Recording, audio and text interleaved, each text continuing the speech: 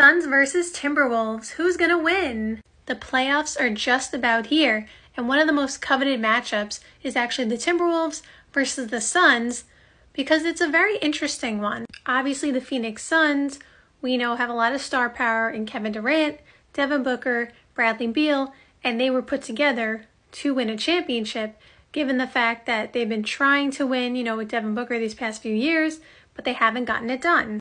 And on paper, before the season started, a lot of people thought they were going to be a top seed in the West, including myself. I didn't necessarily think they were going to win a championship, but I thought, you know, and they were not healthy all year, so that's part of the problem. But I did think that they were going to win a ton of regular season games just based on the fact that they had so much, you know, offensive firepower. They could just outscore people a lot of the nights. And then oppositely, a lot of people didn't think the Wolves were even going to make the playoffs. I believe in my predictions, I put them seventh or something like that. Like, I really thought they were going to be better this year, which they obviously were. I didn't think they would be number one or number three at this point. You know, they were almost number one, but you know what I mean. I didn't think they would be top in the West, but I definitely felt like people were sleeping on them in terms of thinking that they wouldn't make it at all. I thought that was a little too much, but they shocked me. They surprised me with how well they played all season, fighting for the number one seed in the West all year. Like, that is such an accomplishment. And yes, regular season wins don't mean you won the championship, but obviously for a team that, you know, has been struggling for years, this is an accomplishment led by that man, Ant Man. So let's talk about the matchup now. I believe the Suns are favored in this matchup, which is a little bit crazy to me. And I understand why the Suns are favored in terms of, first of all, like I said, the star power, because you have Kevin Durant, Devin Booker, Bradley Beal, three players who can get 30 on any given night. They also have more playoff experience, you know, on that roster compared to the Minnesota Timberwolves. Like, yes, Rudy Gobert has been in the playoffs and stuff like that, but Kevin Durant, we know, won two titles. Devin Booker has been to the finals. Bradley Beal's been to the playoffs a bunch of times. And then other players on the roster have playoff experience as well. And I think part of the reason, although they would never say this, but I think part of the reason that the Suns are favored also is because people don't really trust the Timberwolves just based on, you know, their reputation and based on the fact that, you know, we haven't seen Karl-Anthony Towns and Rudy Gobert make it work yet. Like, yes, they were, you know, top in the West, but we're saying, like, in terms of playoff success, we haven't seen it yet. So people are still waiting to see if those two can coexist and win playoff series. Because I don't think anybody's questioning Ant Man. Like, nobody should question Anthony Edwards. He's hungry, he's motivated, he plays super hard every single night. And that's part of why I think they're actually going to win this series. Minnesota finished the season with the number one defensive rating. I believe 108.4 was the rating. And obviously, a lot of that had to do with the fact that they had Gobert, who is likely going to win Defensive Player of the Year again. Not only that, but they have, you know, McDaniels, who's an awesome defender. And we gotta talk about Naz Reid, because I talked about him last year too. And I said the Timberwolves better pay him because that guy, that man, is such a good player, so underrated. He's played very well this season. He has earned that contract. Naz Reid is an X factor for me every night because when he's on, it's hard to beat the Timberwolves because he'll just go crazy and he'll make like five threes, have 26 points. He plays super hard, hustles, and all this stuff. So when Naz Reid is on, like, it's hard to beat the Timberwolves. And I understand that having the number one defense doesn't always translate. Like it should translate in terms of like you still should be a good defensive team in the playoffs. But Gobert, that is part of the reason that people don't trust the Timberwolves is because when he was on the Jazz, they had a top defense always. And it wasn't his fault, you know, specifically that they would lose the series.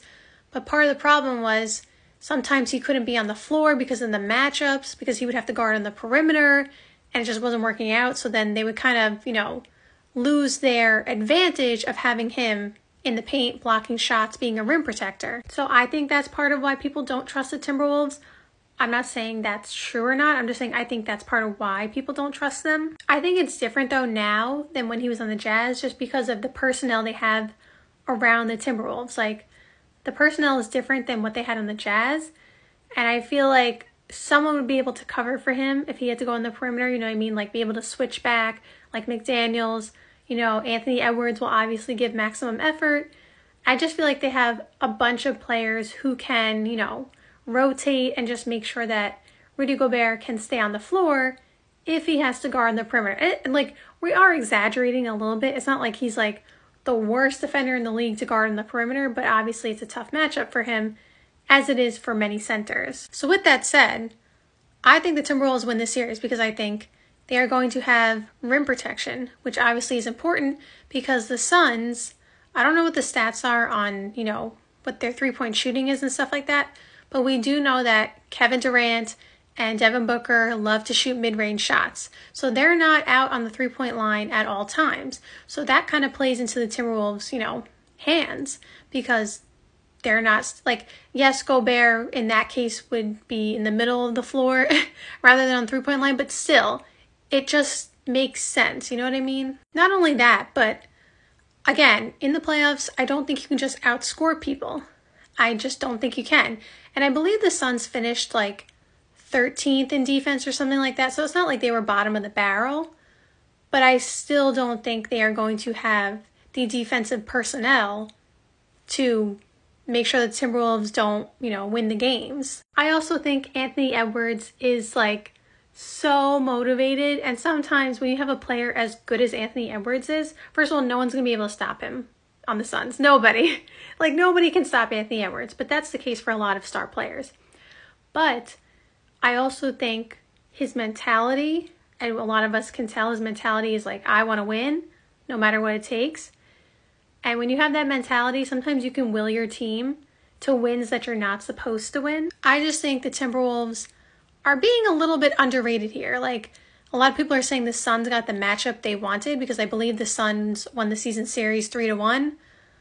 To be honest, I don't really look at the season series that heavily depending on, you know, who it is and stuff like like some of them you can kind of gain some knowledge and you, you know, look at it and you're like, "Hmm, that makes sense." But there are a bunch of season series matchups that a team may win in the regular season, but in the playoffs doesn't matter because during the regular season, you have a lot going on. Like, you're not just focusing on one team, it's different. So, the fact of the matter is, a lot of people are saying the Suns got the matchup they wanted, but I feel like oppositely, you could say the Timberwolves got the matchup they wanted.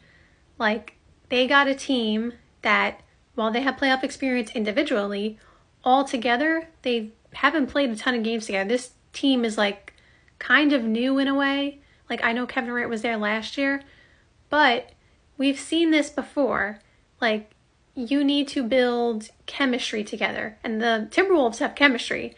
And the Suns don't have a ton of chemistry yet just because they haven't played so long together. And that chemistry can also help you win games. Now, again, I'm not saying it's going to be an easy task. I'm not saying the Timberwolves are just going to sweep them and blow them out. That's not what I'm saying. But in my opinion, I think the Timberwolves are going to win this matchup.